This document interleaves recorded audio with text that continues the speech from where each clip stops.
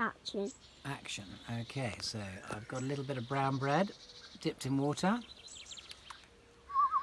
I'm going to whistle so that it can remember that when I whistle, it's feeding time. Come on. It's only the first time we fed it. Oh, that's close. Come on. Yeah, there we go. Good bird. And he just did a large poop. It did. There we go. There we go. There we go. And you don't give him very more because he's got to swallow that bit. Okay. See?